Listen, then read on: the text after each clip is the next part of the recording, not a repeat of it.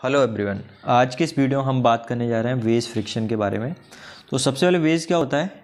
एक मेटल या वुड का पीस होता है, जो कि ट्रेंगुलर और ट्रिपोजल क्रॉस सेक्शन में होता है। और इसको यूज़ कहाँ करते हैं? लिफ्टिंग लोड और, या स्लाइट एडजस्टमेंट करना होता है। एक इसका सबसे प्रैक्टिकल एग्ज़ाम्पल देख सकते हैं। जैसे ट्रक को कभी लोड करना होता है हैवी सामान से, है ना? या अनलोड करना होता है तो वहाँ पर इस तरह से एक पट्टा लगा देते हैं लकड़ी का। ठीक है प्लैंक लगा देते हैं और उसके ऊपर से आप, जैसे कार है या स्कूटर है स्कूटी है तो उसको सब यहाँ से इस तरह से उतारते हैं, है ना? इसी तरह से यदि लोड करना होता है तो ऊपर चढ़ाते हैं।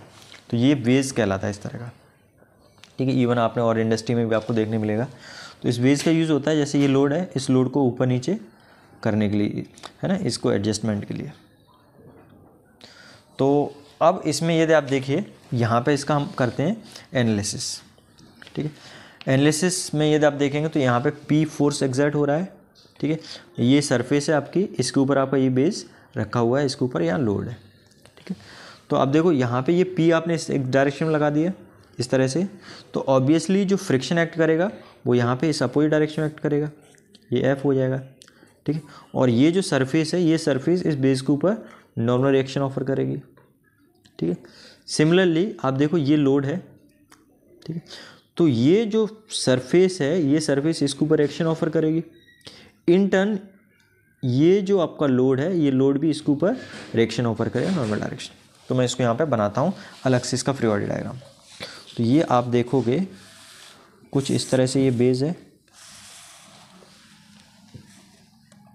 ठीक। और यहाँ पे आप देखो, मैं दूसरा कलर यूज़ करके बताता हूँ आपको। ये देखिए, ये एक्ट कर रहा है यहाँ पे फ्रिक्शन और यहाँ पे इस तरह से आप देखो, ये एक्ट करेगी आपकी नॉर्मल रिएक्शन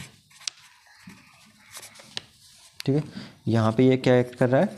नॉर्मल रिएक्शन अब हम क्या करते हैं? इन दोनों का एक रिजल्टेंट ले लेते हैं फ्रिक्शन का और नॉर्मल रिएक्शन का। ये फ्रिक्शन मान लो एफ़ है। तो यहाँ पे जो रिजल्टेंट है, वो रिजल्टेंट है आपका आर वन ठीक है? इस रिजल्टेंट को हम नाम दे देते हैं आर वन और ये रिजल्टेंट वर्टिकल से आपका एंगल बना रहा है फाइव वन ठीक है? ये फेस कौन सा आपका ए सी है। ठीक है? अब यदि बी सी की बात करें हम तो बी सी के ऊपर क्या लग रहा है आपका? पी फोर्स एग्जर्ट हो रहा है। है ना? ये आप मैनुअली फोर्स अप्लाई कर रहे हैं। अब यहाँ पे देखें ए बी पे। ठीक है? तो आप इसको ऐसा मूव करा रहे हैं। और ये आपका इनिशियल स्टेशनरी है। तो स्टेशनरी है तो ये क्या करेगा? इसके ऊपर फ्रिक्शन कैसे एग्जर्ट करेगा? इस डायरेक्शन। ठीक है? चाहे तो मैं इसको यहाँ पे ऊपर बना देता हूँ। ये इस तरह से फ्रिक्शन को एग्जर्ट करेगा। ठीक है? लेकिन यदि हम इसका फ्री डायग्राम बनाएँगे तो ये क्या करेगा? इसने इसके ऊपर रिएक्शन कर दिया। ये फ्रिक्शन इस तरह से एग्जर्ट कर दिया। तो ये क्या करेगा? इसके ऊपर फ्रिक्शन एग्जर्ट करेगा। इस डायरेक्शन उल्टा। है ना? लेकिन अभी हम इक्विलिब्रियम किसका कंसीडर करें वेज का। तो इसको हम नहीं करेंगे। अब ये जो सरफेस है, ये इसके ऊपर रिएक्शन इस तरह से ऑफ़र करेगी। इस सरफेस के परपेंडिकुलर तो इंटर्न क्या होगा? ये जो लोड है ये इसके ऊपर रिएक्शन ऑफ़र करेगा उल्ट अपोजिट डायरेक्शन ठीक है? अपोजिट डायरेक्शन मीन्स ये यहाँ पे इस तरह से नॉर्मल डायरेक्शन में ये रिएक्शन ऑफ़र होगी। ठीक है? अब आप देखिए इन दोनों का रिजल्टेंट हम नहीं लेते हैं। ये आपका नॉर्मल रिएक्शन है ये भी। ठीक है? ये कौन सी नॉर्मल रिएक्शन है? जो कि आपका ये जो आ, ये आपका जो लोड है ठीक है, ये एग्जैक्ट कर रहा है इसके ऊपर, ठीक है। अब यहाँ पे हम लिख देते हैं, इस, इन दोनों का एक रिजल्टेंट लिख देते हैं, ये रिजल्टेंट मान लो है आर टू ठीक है। और ये आर टू आपका वर्टिकल से एंगल बना रहा है, आपका फाइव वर्टिकल बोल सकते हैं या बोल सकते हैं नॉर्मल नॉर्मल ये फाइव है तो इसको नाम देते हैं हम फाइव टू और आप देखिए यदि यहाँ पे हम वर्टिकल ड्रॉ करें। एक इमेजनी वर्टिकल लाइन ड्रॉ करें, कुछ इस तरह से।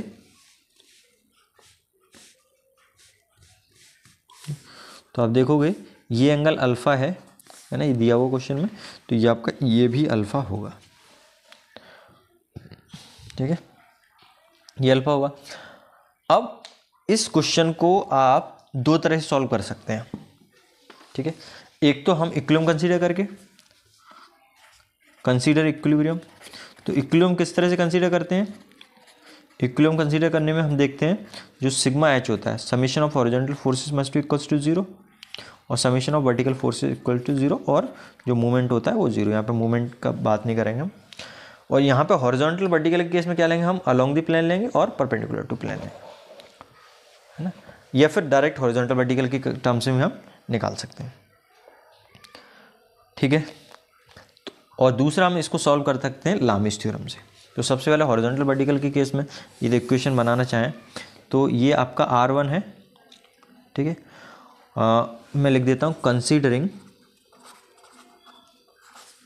हॉरिजॉन्टल फोर्सेस तो हॉरिजॉन्टल फोर्सेस को कंसीडर करेंगे तो ये क्या आ जाएगा आपका? आर वन इसका ये कंपोनेंट होगा ठीक है ये तो दोनों ओमिट हो जाएँगे क्योंकि इन दोनों का रिज़ल्ट नाम लिख दिया। तो ये हो जाएगा R one sine five one ये किस डायरेक्शन में लगेगा आपका? इस डायरेक्शन ऐसे ही यदि ऊपर कंसीडर करें तो यहाँ पे क्या है? आर टू है। ठीक है तो ये आ, ये क्या हो जाएगा? प्लस आर टू अब इस केस में जो एंगल होगा वो आप समझिए ये एंगल पूरा ये वाला एंगल कंसीडर करना पड़ेगा। ये पूरा एंगल क्या होगा? अल्फ़ा प्लस फाइव टू ठीक तो इसका वर्टिकल कंपोनेंट क्या हो जाएगा? वर्टिकल कंपोनेंट आपका ये वाला हो जाएगा। ये वर्टिकल कंपोनेंट आपका क्या होगा? ये हो जाएगा आपका आर टू कॉस है ना? जो एंगल जिसमें साथ होता है, वहाँ कॉस लेते हैं। Cos five two plus alpha ऐसे ये क्या हो जाएगा? साइन तो ये हो जाएगा R two sine five two plus alpha equals zero ऐसे ही हम वर्टिकल कंसीडर कर सकते हैं। कंसीडरिंग वर्टिकल फोर्सेस तो वर्टिकल फोर्सेस को जब हम कंसीडर करेंगे तो क्या आएगा? ये एक वर्टिकल फोर्स यहाँ पे तो R one cos five one ठीक है?